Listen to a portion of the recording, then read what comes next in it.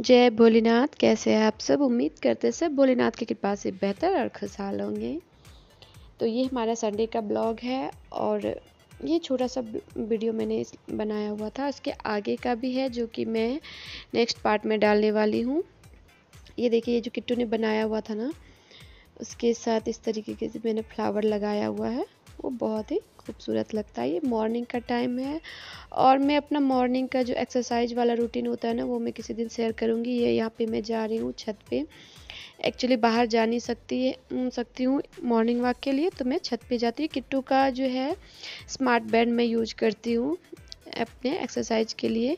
इसमें जो है ना सारी चीज़ें होती है कि आपने कितना कदम चला हुआ है या फिर कितनी कैलोरी आपकी बर्न हुई है। दिस दैट वगैरह बहुत सारी इसमें फीचर्स है तो मैं बस से ही यूज़ करती हूँ ताकि मुझे पता चल पाता है कि मैंने कितना वॉक किया हुआ है। तो बस मैं यहाँ पे वही करने वाली हूँ। तो मैं किसी दिन और दिखाऊँगी ये सारी चीज़ें आपको। तो मैं ये मॉर्निंग का ब्रेकफास्ट बना रही हूँ सुबह सुबह और बहुत ही डिफरेंट वाले भी पराठे बनने वाले हैं। मैंने इसका सीक्रेट पहले ही खोल दिया कि मैं इसके पराठे बनाने वाली हूँ।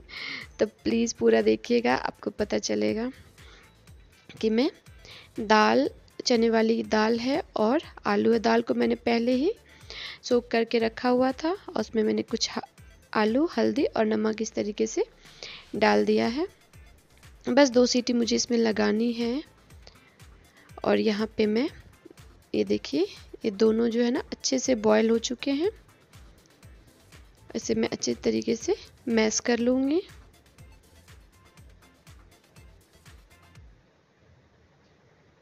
इस तरीके से मैसर के लिए मैसर को लेके आप इस तरीके से उसे अच्छे से मैश कर लें। ये वाले जो पराठे होते हैं ना, बहुत ही टेस्टी लगते हैं। इसमें दाल प्लस आलू दोनों के फ्लेवर आते हैं। ऐसे तो नॉर्मली दाल के साथ बनाती हूँ या सभी बनाते हैं आलू के अलग से, बट ये कभी ट्राई कीजिएगा, बहुत ही अच्छा लगेगा। और जो लोग मेरे चैनल पे नए हैं और मेरे वीडियो देख रहे हैं, अगर मेरा वीडियो पसंद आए तो please please like, share, subscribe ज़रूर कीजिएगा। और हमें कमेंट करके बताइएगा कि हमारा वीडियो कैसा लगा। और यहाँ पे जो है ना, मैं इसे थोड़ा सा फ्राई कर दूँगी। यहाँ पे मैंने शिमला मिर्च और हरी मिर्च, टमाटर सारी चीज़ें मैंने इस तरीके से चॉपर में, हैंड चॉपर में चॉप कर लिया हुआ है।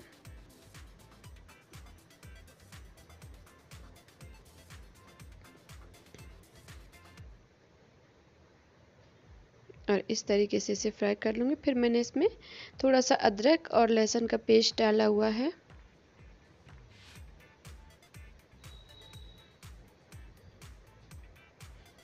और थोड़ा सा नमक और पहले भी मैंने उसमें नमक ऐड किया था, बाद में आप टेस्ट के हिसाब से जितना आपको मन करे, आप डाल सकते हो। और थोड़ी सी रेड चिली पाउडर थोड़े से आमचूर पाउडर और ये मेरा होममेड मसाला है। ये मैं, ये भी मैंने ऐड कर दिया है थोड़ा सा इसमें।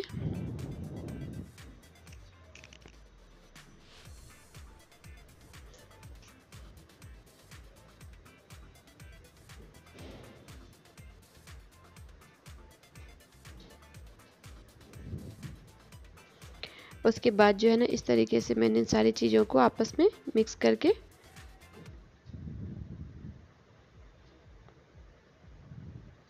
और यहाँ पे मैं इसके पराठे बनाऊँगी। मैं सबको मिक्स करके मैंने ठंडा कर लिया था और फिर इस तरीके से गोल गोल पेड़े बना के मैंने इसका रख लिया था। उसके बाद जो है ना, ये वाले पराठे में बना करके तैयार कर लूँगी। और इसे आप दही के साथ, सॉस के साथ, जिसके भी साथ चाहे आप खा सकते हो बहुत टेस्टी लगता है। तो एक बार ज़रूर ट्राई कीजिएगा, आपको अच्छा लगेगा। और एक्चुअली आज संडे है तो मुझे जो है हेयर कट कटाना था। तो मैं अपने बाल को देख रही थी स्ट्रेट करके कि कैसा डिज़ाइन इस पर अच्छा लगेगा। एक्चुअली मुझे जो है ना, काफ़ी दिनों से शौक था कि मैं स्ट्रेट बाल रखूँ नॉर्मल वाले। तो बस मैं वही लेंथ चेक कर रही थी स्ट्रेट करके अपने बालों के। मेरे बाल जो है ना, काफ़ी टूटते हैं, खास करके बारिश के दिनों में। सबके साथ ये प्रॉब्लम होती है। ये वाले जो ना, मेरे पास छोटी सी एक स्ट्रेटनर है तो मैं उसी से कभी कभी कर लेती हूँ। तो बस मैं वही चेक कर रही थी अपने बालों की लेंथ मेरे बाल जल्दी बढ़ते नहीं हैं। बहुत कुछ करती हूँ बट ये बड़े होते ही नहीं हैं।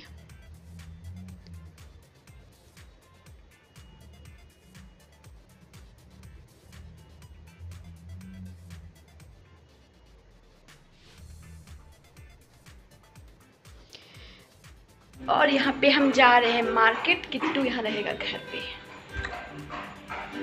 और हम जा रहे हैं किट्टू को देखिए गुस्साया हुआ है मुझसे कैसे। हम उसको बोले जाने के लिए बट वो गया नहीं और अभी हमसे है। मेरा मैचिंग मास्क कहाँ गया? कहीं चला जाओगा खत्म हो भागो भागो एकदम एकदम ये रेड वाला है। ओके आज हम रेड वाला ही पहनेंगे। एकदम निकलो बिग बाज़ार जाओ एकदम भागो बाय सही में जाने लगी बाय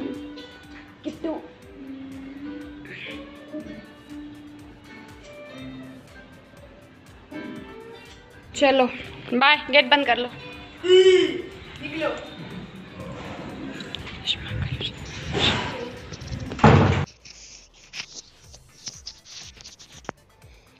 तो यहाँ पे मैं आ गई थी पार्लर, जहाँ पे मुझे मैं हमेशा यहीं पे आती हूँ। एक्चुअली क्या होता है ना कि सभी अलग अलग पार्लर्स में ना मतलब मन नहीं बैठता है कि कहीं आप आईब्रो वगैरह करवाते हो या फिर हेयर कट कटाते हो तो सभी जगह पसंद नहीं आते तो मैं जनरली यहीं पे आती हूँ।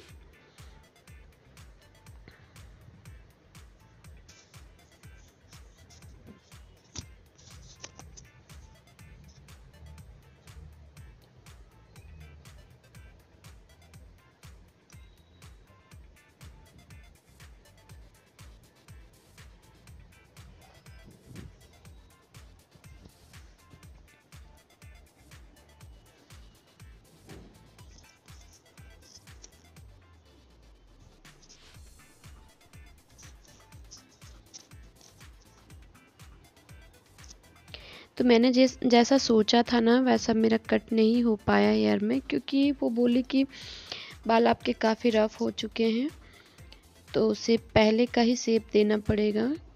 स्टेप कट ही देना पड़ेगा नॉर्मल कट नहीं होगा उसमें। अच्छा मुझे नॉर्मल एक्चुअली मुझे नॉर्मल कट कटाना था बट वो नहीं हो पाया। बट कोई नहीं, जो हो गया। बट ये वाला लुक भी अच्छा लग रहा था।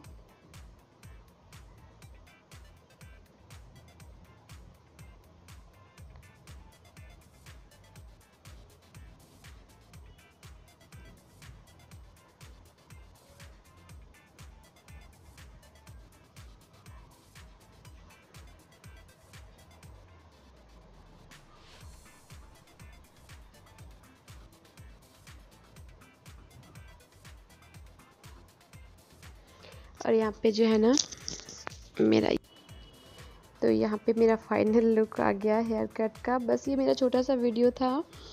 मैं नेक्स्ट वीडियो जो है अपना, मैंने एक थाली स्पेशल बनाई हुई थी, उसकी लेकर के आऊँगी। और इसके बाद जो है, मेरा आए मैं मंडे का, सावन की पहली सोमवारी है कल। तो मैं कल की वीडियो बहुत जल्द अपलोड करने की कोशिश करूँगी। तो मिलते हैं नेक्स्ट वीडियो में समथिंग इंटरेस्टिंग के साथ। तो तब तक के लिए हर हर महादेव।